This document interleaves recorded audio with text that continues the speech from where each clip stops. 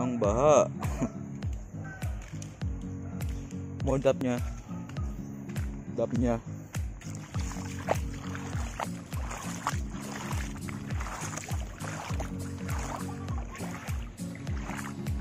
Ayun guys, touchdown dito lang Master Gerson. Ito pa siya. oh.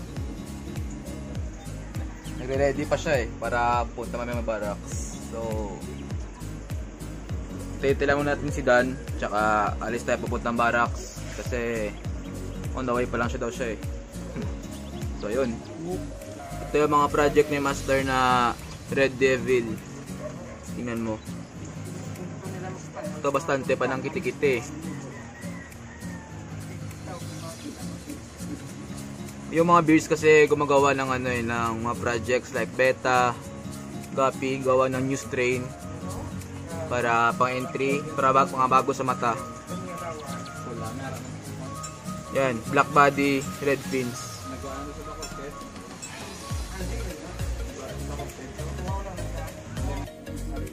Dito na si Brodan, ayun. Para sa pili na lang ng work man. Ikaw pa. Ready na pa barracks. Go. So ayun guys, pupunta na kami sa barracks doon sa Tangob. Bale, magtuturo ako doon. Ipakita ko sa inyo mga projects namin, mga isda, and ang mga setup namin. So, stay tuned na muna guys. And tingnan natin doon kung anong mga isda.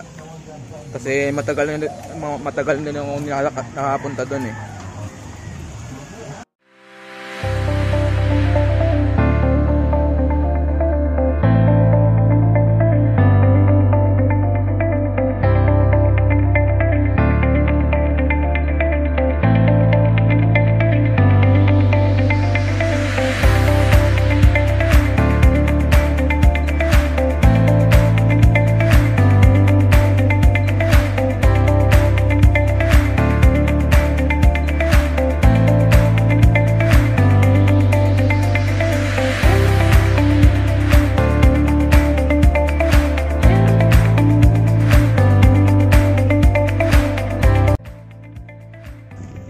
So yun guys, papunta na kami sa ano, sa barracks.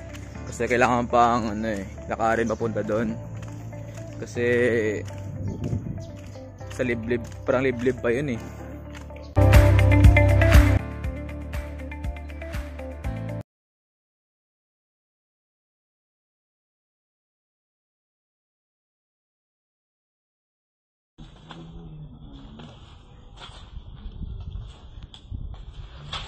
Tara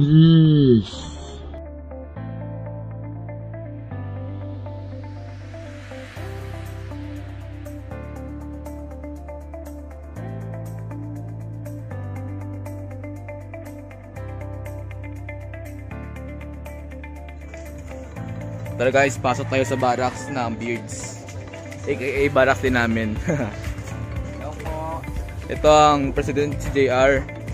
Siya ang President ng Bacolod chapter. Hello po. Good morning. So ito, ito ang mga AFR tsaka FR na gapi. Pres, ilang ilang ano to? Ilang weeks na to? 2 weeks. Ito 2 weeks old AFR. Lalaki na. Ah, yung Merong FR, yung yung FR. Yun. FR, AFR assorted. Kasi may project kami ngayon eh, gumagawa kami ng blonde full red. Ito naman mga ivory natin. Nag-yellow daw kasi next po sa araw. Pero, ano pa yan? Babalik pa rin sa pagiging ivory niya. Ito naman, mga, I think, cobalt to ata, or Moscow project. Or ito yung mga, ano, mga Panda Half Moon na project namin for show next year or ngayong December. Naman, mga full red male. Andi, AFR male. Ayun. Ito mga 3 weeks old na to. Or 3 weeks old to 1 month. Ito naman mga AFR female. Dami nila oh.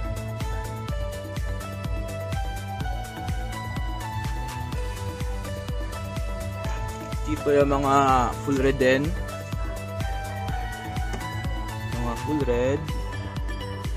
Ating blue musco. Blue musco. Yun. Ito yung American Blue Tail namin. Ito sana entry namin ng ano eh. Yung yung sa Silay. Kaso, ah Silay, I mean Talisay. Kaso na tail bite siya oh. Sayang. Kaya, diyan lang muna, padami kayo kasi gagawin namin material for next generation. Ito, hindi ko lang alam kung ano to. Pero feeling ko mga Moscow to eh. Ewan ko lang, or baka sorted pa to. Ito naman, mga HB Red.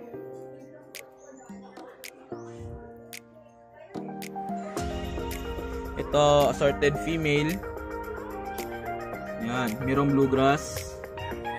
Merong full red. Merong AFR. Tara, pasok tayo sa loob. Ito yung loob ng barracks namin. Dito nagaganap yung mga grooming, mga ibang grow out, mga indoor guppy.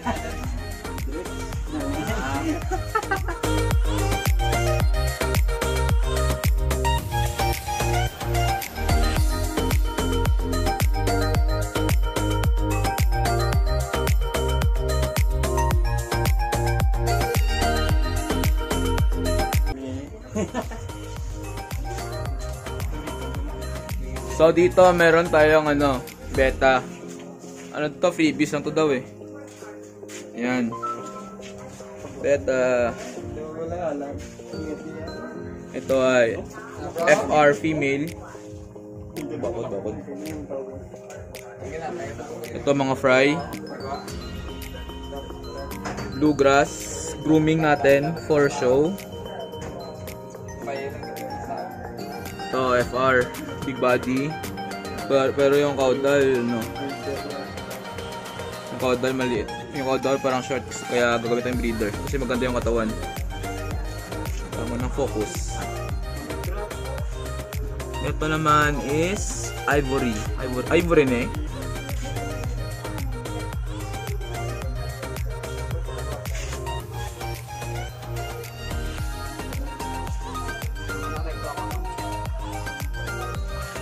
Yung yung aming second third second place no, sir? Second place. First runner up namin sa no, sa Gapi. Yan, sa eh, albino blue topaz category. So ito, itong female monog drop na to. Yan. Ito, bluegrass.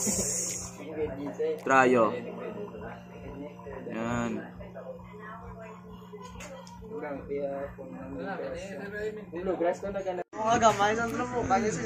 Dito na pala si Edson, tsaka si Bro Jerwin. Kakadating lang nila. Bako di yata na. Si Bro Don, nandito na.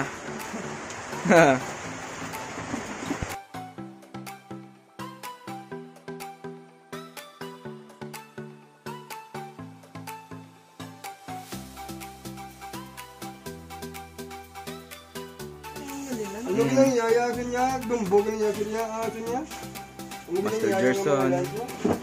Press. Saka mo naman yan?